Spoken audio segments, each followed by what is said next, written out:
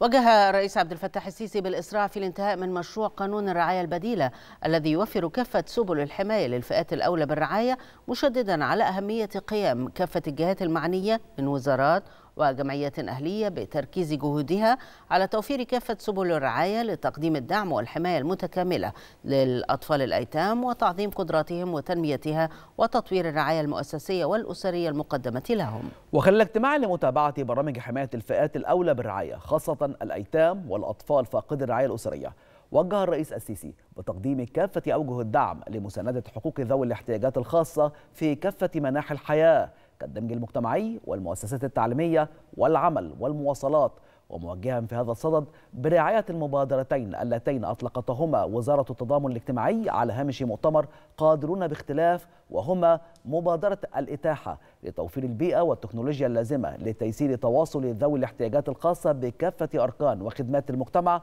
وكذلك مبادرة أحسن صاحب التي تهدف إلى إنهاء العزلة الاجتماعية والاقتصادية لذوي الاحتياجات الخاصة. وفيما يتعلق بتوجه الدولة نحو الرقمنة وميكنة كافة قواعد البيانات وجه الرئيس السيسي بإطلاق المنصة الإلكترونية للغارمين والغارمات مع ربطها شبكيا بكافة المؤسسات المعنية من الجمعيات الأهلية العاملة في هذا المجال بحيث تساعد المنصة على سرعة إجراء الأبحاث الاجتماعية للغارمين ودراسة أفضل السبل الفاعلة لعلاج أسباب الغرم.